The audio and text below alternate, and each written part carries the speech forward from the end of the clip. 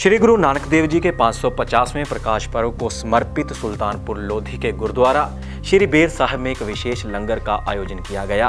खेती विरासत मिशन की ओर से लगाए गए इस अनूठे लंगर की खास बात यह थी कि इसमें जो भोजन श्रद्धालुओं को परोसा गया, वह पका हुआ ना होकर कच्चा था। इस लंगर में श्रद्धालुओं ने आराम से बैठकर भोजन का आनंद लिया। लंगर तैयार करने वाली मनीषा पटेल ने बताया कि यह एक किस्म का रॉ फ़ूड है। और इसकी पंद्रह के करीब डिशेज बनाई गई थी। इस प्रकार का भोजन शरीर के लिए ज़्यादा गुणकारी होता है। उन्होंने कहा कि हमारा मकसद आने वाली पीढ़ी को सेहतमंद जीवन देना है। मुझे नहीं मालूम था लंगर क्या होता है बट यहाँ गुरुद्वारा में मुझे वो एक सेवा का लाभ मिला तो मैं शुक्रगुजार हूँ कि भाई मुझे ये सेवा का लाभ तो मिला कि इतने लोग मेरे हाथ का खाना खाए हैं। भगवान तो खा ही रहे इसके अलावा इसके बेनिफिट देखने जाए तो मैंने पर्टिकुलर फोकस किया है इसमें कि रॉ फ़ूड में। तो इसकी बहुत सारी करीबन हमने 12-15 डिशेस बनाई हुई थी और एक से बढ़कर एक लोग बोल रहे हैं, मैंने तो खाई नहीं है क्योंकि मिली नहीं, ख़त्म हो गई थी। एंड बेसिकली uh, वो हेल्थ के लिए इतना अच्छा खाना है कि हम लोग वैसे देखते हैं पका पका के जो डेड फ़ूड बॉडी में डाल रहे हैं तो एक जगह से हम बीमारी की जड़ अंदर डाल रहे हैं। बीमारी की जड़ उसी से ही पैदा होती है। पहले के ज़माने में जो हमारे वडील जो थे जो पूर्वज जो थे वो लोग वही खाना खाते थे। पका पकाया हुआ तो उसमें भी हार्डली सितर सत्तर अस्सी साल से आया है।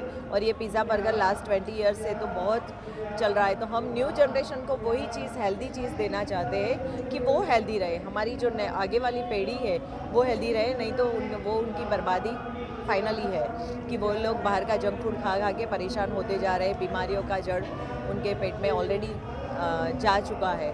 तो हमको अवेयरनेस के लिए हम ये प्रोग्राम चलाते हैं। इस लंगर में भोजन करने आए श्रद्धालु ने बताया कि खाना खाने के बाद सच में यह एहसास हुआ कि जब हम खाना पकाकर खाते हैं तो उसके तत्वों के साथ उसका जीवन भी खत्म हो जाता है। बहुत ही बढ़िया लगाया था और जो भी खाना था, सारा मतलब कि बिना पकाया खाना था। और जिसके बारे में बताया गया मतलब कि खाना एक है मृत और एक है अमृत। अमृत मतलब कि वो खाना जो कि मृत नहीं है। और ये लंगर खा के मुझे वाकई मतलब ये महसूस हुआ कि खाने को अपने जो पकाते हैं, उससे उसका सारा जीवन जो है खाने के अंदर वो ख़त्म हो जाता है। और जो ये मतलब कि जो लंगर में खाना था, सारा जीवित खाना था। तो उसमें मेरे को ये डाउट था कि कहीं टेस्ट में क्या डिफरेंस होगा, वैसा कोई डिफरेंस भी नहीं लगा। बहुत अच्छा टेस्टी भी था।